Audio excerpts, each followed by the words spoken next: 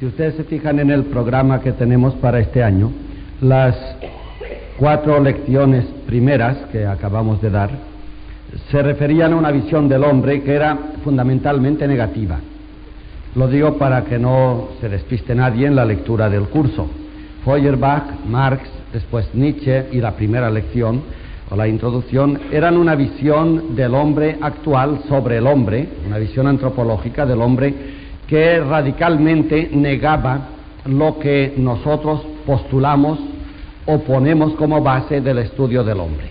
Pero ha ido bien, puesto que lo negativo siempre es un relieve, una sombra sobre la luz, y por tanto ha hecho seguramente, si hemos logrado el efecto que queríamos, ha hecho que en el fondo de nosotros algo se rebelara contra estas visiones negativas o niquilistas del hombre y postulara dentro de nosotros una visión mucho más positiva, que es lo que en realidad queremos ser. Quizá de momento y superficialmente alguna postura negativa nos pueda o tranquilizar o atraer, pero al final el hombre jamás se contenta mm, cuando sabe o entiende que es menos de lo que es. El hombre es lo que es y desea con todas sus fuerzas ser realmente lo que ha de ser. A partir de ahora vamos a intentar construir el hombre desde visiones positivas, por tanto, a partir de hoy el curso es ya constructivo, pero yo suplicaría a todos que no pierdan de vista que estas cuatro primeras lecciones son más o menos el clima que estamos respirando actualmente. La gente, por lo menos de forma oficial, es negativa. Y incluso de forma no oficial, cada uno de nosotros por dentro vamos sospechando o dudando a veces si será verdad o no será verdad lo que nos dicen que somos. No podría suceder que al final la vida del hombre sea un sueño y nada más que un sueño, como ya se dijo hace tantos años en España. No podría ser. En realidad no nos conformamos con que lo fuera, pero sin embargo debemos saber que si se ha pensado y se ha pensado científicamente que sí puede ser así. Podría ser que el hombre no sea más que un sueño y que nuestra vida sea una pura ilusión. Esto lo han dicho tanto del punto de vista metafísico como del físico Feuerbach, Marx y Nietzsche. La lección de hoy tiene dos vertientes. La primera, una introducción a la positiva antropología que se hace por tres personajes cuya literatura presento ahora enseguida. Bueno, una me falta, que no la he traído, y es la evolución de las especies de Darwin, pero como es tan conocida y está al alcance de todo el mundo, no hace falta ni siquiera traerla. Los que tengan ilusión por leer a Darwin, es siempre bueno Darwin. Eh, Darwin murió en 1882, hace 100 años, y es todavía muy útil su lectura. Pero después de las proposiciones y teorías de Darwin, lo que ha llegado a ser casi casi una tesis, la tesis evolucionista, está mucho mejor expuesta por Telar de Chardin, al cual sí hay que leer siempre, cuando no, si se tiene poco tiempo, esta pequeña obra, El medio divino, del cual hablaremos un poco hoy, puesto que no podemos olvidar la dimensión total divina que tiene el hombre. El medio divino de Telar se lee como una inmensa y estupenda poesía, como un himno del universo que está aquí dentro. En segundo lugar, y de una forma negativa, pero como final de una evolución, hay que tener en cuenta todavía este punto negativo, que es Jacques Monod, Nobel, como ustedes saben, em, en el libro El azar y la necesidad. Es un libro muy difícil de leer, pero la última parte del libro, a partir de la página 180, 175, sí se debe leer porque vale la pena. A, pesar de, a partir de la página 185, El reino de las tinieblas, vale la pena de leer. La primera parte, si no son especialistas en bioquímica, que su especialidad puede ser difícil de leer, pero hay que tenerlo en cuenta a Jacques Monod. Y para aquellos que quieran dedicarse a estudiar a fondo el pensamiento total de Teilhard de Chardin y no tengan tiempo de leer toda su obra, Teilhard era de esta casa, era jesuita. Murió el año 1985, el día de Pascua, un buen día para morir y para vivir, claro está. El libro que hay que leer de Telar como síntesis y como juicio general de su obra es de Henri de Lubac, otro jesuita, también de esta casa, que fue cardenal, como ustedes saben, a última hora por el Papa. Y escribió un libro sobre el pensamiento religioso, La pensée religieuse de Teilhard de Chardin. Este libro es un libro de oro, vale la pena porque son amigos, eran amigos los dos, Teilhard y Delibac. Delibac, que tenía una categoría de teólogo mundial, de lo mejor de la teología, escribió para justificar posturas de Teilhard este hermoso libro que vale la pena leerlo también. A partir de esta bibliografía empezamos la exposición de hoy.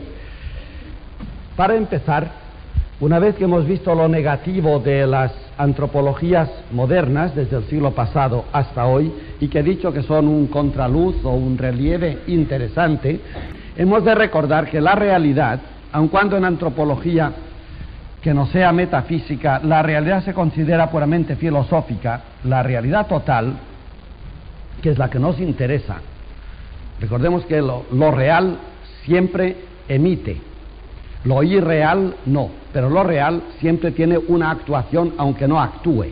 Un árbol que esté aquí ya no es indiferente para el paisaje ni para nosotros. Una persona que esté aquí, aunque no hable ni se comporte sentada, está transmitiendo algo. La realidad está aquí. Lo real es lo más milagroso que existe. Por tanto, una cosa no puede ser real sin influir siempre, para bien o para mal, pero influye que haya una estrella más o menos influye en nuestra constitución humana, tanto material como espiritual. Que una galaxia se desenganche del cielo, esto influye en el hombre y en otros seres si los hay por los espacios. Es decir, que la realidad, lo real, de lo cual hemos hablado otras veces, lo real es lo real.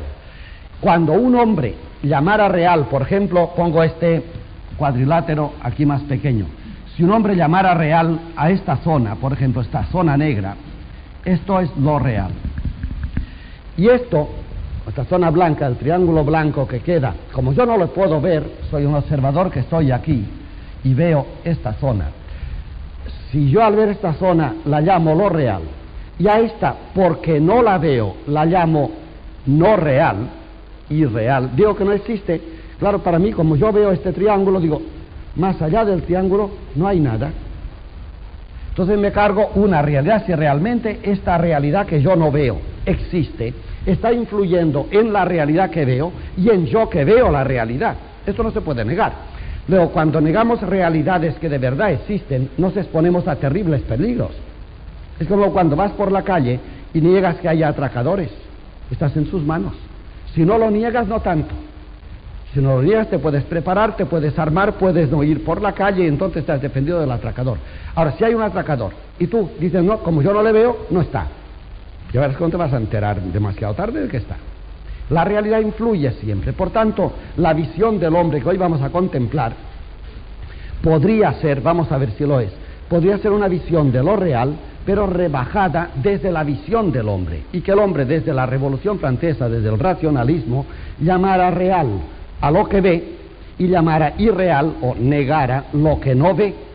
Pero si lo que no ve y que el hombre niega realmente existe, esta realidad influye en él de todas formas, con lo cual hará que se distorsione la visión incluso de lo que él llama real.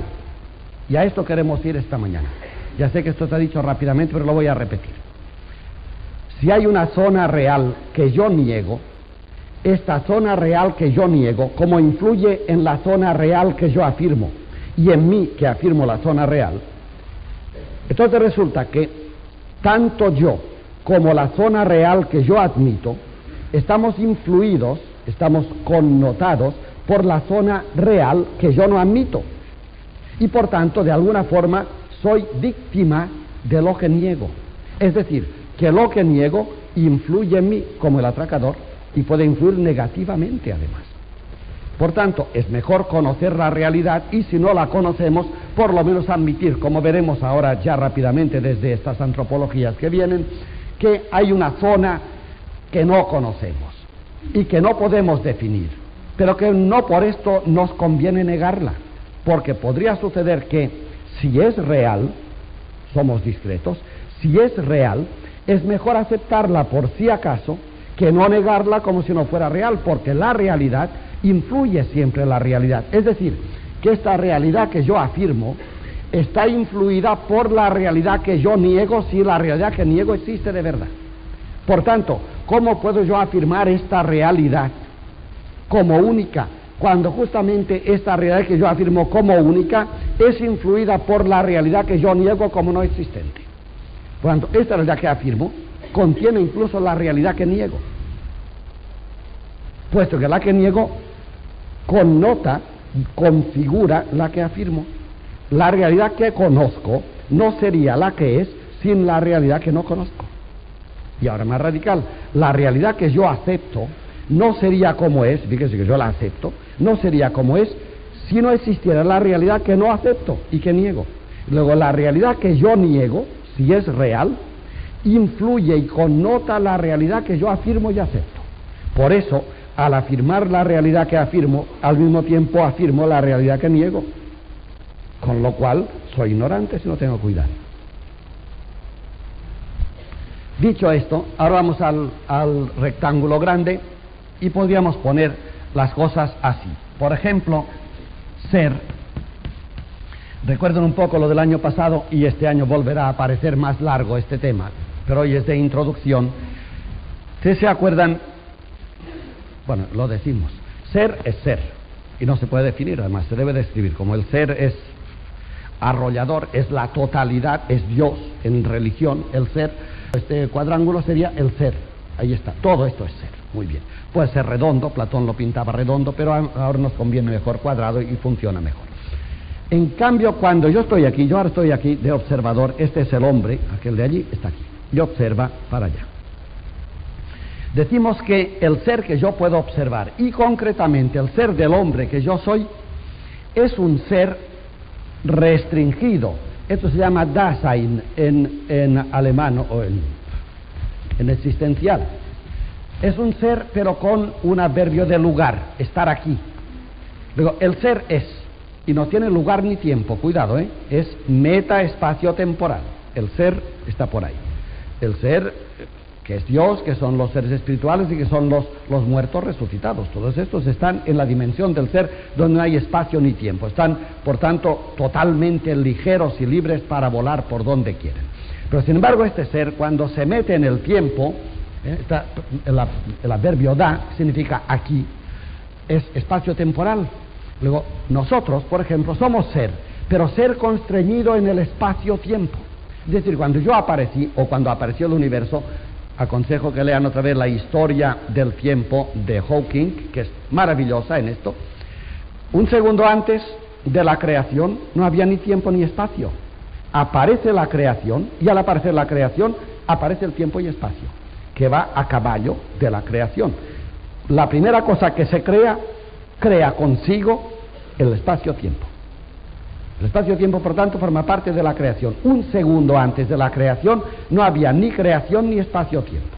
Y un segundo después viene la creación y las coordenadas espacio-temporales.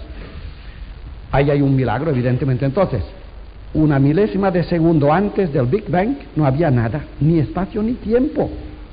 El vacío total y un segundo después nace la creación y hay ya espacio-tiempo. Con lo cual ha sucedido lo increíble. Es decir, que un segundo antes de que la creación empezara, si hubiese habido algo o alguien observando, jamás habría podido intuir una milésima de segundo antes que podría suceder lo que sucedió. Porque sucedió algo totalmente diverso de lo que había antes. El ser, que no tiene dimensión en espacio-tiempo, cuando viene a la creación, cuando crea, es un ser da, digamos que espacio temporal. Aquí nace el espacio y el tiempo. Bien, entonces ven, el ser en nuestro cuadrángulo está limitado por el espacio-tiempo. Yo soy ser, no digo soy un ser, soy ser. Pero el mismo ser de Dios es análogo, evidentemente. Yo soy ser. Pero un ser en unas coordenadas espacio-temporales. Es decir, que a mí, a mi ser, si le recortas el espacio y el tiempo, yo desaparezco. ¿Verdad? Para matar a un hombre no hace falta disparar. Basta matarle el espacio y el tiempo. Ya no queda hombre. No hay hombre fuera de espacio y tiempo. O sea, si fuéramos capaces de dominar el espacio-tiempo, manejaríamos las cosas de las personas como quisiéramos. Estamos en el tiempo y espacio. Son nuestras coordenadas vitales, además. Nadie, nadie de la creación, por allá arriba sí, el ser sí. Nadie vive, existe o es fuera del espacio-tiempo. El da. Da significa aquí y ahora, por tanto. Luego, En la creación el ser, que fuera de la creación es total y absoluto y eterno, en la creación el ser viene coordenado por dos líneas, espacio y tiempo. Es decir, viene constreñido, enjaulado en el espacio-tiempo. Por tanto, viene recortado. Qué curioso. Luego, Sain es más que da Sain. El da limita, no ensancha. a veces puede parecer en gramática que cuanto más añades, más añades, ¿no? Y al revés, quitas, ¿no? Es como cuando, cuando amas, escribes una carta, le dices a una persona, te amo, pues es una declaración de amor, ¿verdad? Pero lo puedes fastidiar rápidamente. Dile en vez de decir te amo, dile te amo mucho. Eso es menos. Eso es menos. ¿Te das cuenta? Qué curioso, ¿verdad? Te amo funciona muy bien. Te amo mucho. Esto dicen todos. Y has añadido. Has añadido, pero has recortado. Amar mucho es menos que amar. Qué curioso. Bueno, pues aquí es igual. El espacio-tiempo limita el ser Luego, en este cuadro, que es el espacio temporal, como ahora veremos, el ser viene enjaulado. Por tanto, cuidado y que la gramática no nos despiste. Ser solo es total, es el vuelo de la paloma infinito, ser. Ser con algo lo limita, es como amar mucho, que es amar menos. Entonces, ser aquí y ahora es lo que nos pasa a todos nosotros. Somos ser, pero constrictos, apretaditos, enjaulados en el tiempo y en el espacio. Si ahora ponemos el ser como una meta, este punto, por tanto, sería el ser a donde caminamos, y este sería el da. Supongamos que el da es el tiempo, por tanto, y el espacio, y esta es la calidad de ser. Entonces resulta que el hombre, eh, cuando parte, fijémonos, ahora la vida humana sería más o menos esta línea, entonces en el momento en que yo nazco, hay mucho da y pocos hay. O sea, cuando un niño nace, hay mucho tiempo, espacio y poco ser. Claro, como el ser es, ahora lo hemos de manipular nosotros, el hombre es aquel ser cuyo ser es tarea. Eso está dicho, pero lo volveremos a decir, no hace falta que nos perdamos ahora por ahí. Que, lo cual es bonito, ¿verdad? El ser que yo tengo, me lo hago yo. Yo soy un ser que si no construyo lo que he de ser, no soy nada. Y diez millones de hombres empujando mi ser, no lo construyen como yo lo construyo, que es mi tarea. El hombre, por tanto, es aquel ser cuyo ser se le da como tarea. El hombre solamente es hombre si ha construido, si ha construido él su ser. El hombre que no ha construido su ser no es hombre de ninguna manera. Eso para que lo tengamos en cuenta hoy cuando se habla tanto de ser y de hombre, que en realidad hay mucho hombre con da y, con pocos hay. Es decir, que cuando uno nace, nace muy, mucho tiempo espacial, pero cuando corre el tiempo, supongo que este niño tiene aquí 10 años, entonces está claro, han corrido 10 años y al mismo tiempo ha levantado la calidad humana. Con lo cual, si ahora ponemos aquí unas flechas, a los 10 años, este hombre que aquí nació mucho adverbio y poco ser, a los 10 años, ven ustedes lo que ha conquistado toda esta zona, toda esta altura, ya es de ser. Es decir, que a los 10 años tiene el da, ha corrido pero también ha corrido el ser es más ser. Si, si ponemos ahora, como, como hemos dicho arriba, separamos esto en dos triángulos, diríamos que la zona del Da sería esta, ahora invertimos el triángulo, por tanto la zona del Da sería esta, la zona del ser sería esta, con lo cual resulta que en la medida en que corre este hombre, cada vez tiene más ser y cada vez tiene menos Da. Y aquí adelante más ser y menos da, y llega a un punto en que el ser ya es prácticamente casi todo y el da es muy pequeño, y cuando llega aquí, el ser es todo y el da es igual a cero. Esta es la misión del hombre. Noten bien cómo al nacer yo podría haber dicho, bueno, yo soy el que soy, por aquí arriba no hay nada. Claro, y justamente por aquí arriba había todo lo que yo tenía que conquistar. Justamente. Entonces, en la medida que crezco, si soy hombre, en la medida en que camino voy conquistando territorio de ser. Es un da en movimiento, el tiempo y espacio se mueve. Este hombre es un tiempo-espacio que se mueve, pero no se mueve en horizontal, se mueve en diagonal. Por tanto, si es fiel a sí mismo, si construye el ser, año que pasa, crecimiento que será. Otros años, más crecimiento. De forma que si al principio era todo adverbio y prácticamente casi ningún ser, a los X años tenemos, por ejemplo, aquí la mitad de la vida, 50 años, ya tenemos mitad de edad y mitad de ser, 50 y 50. A los 60 años, pues ya 60 de, de, ser y, y, solamente 30 o 40 de edad, y así sucesivamente, de forma que el crecer es eliminar cada vez más la zona, la zona negra, la zona no nuestra, eliminarla cada vez más, de forma que el caminar o el crecer significa una constante invasión en el terreno del el ser. Vamos conquistando ser y vamos eliminando no ser. Cada vez el hombre es más ser y menos tiempo-espacio. Cuando llega el momento en que el hombre es todo ser, el tiempo-espacio se reduce a cero y adviene la muerte. La muerte es tiempo y espacio que se hunden.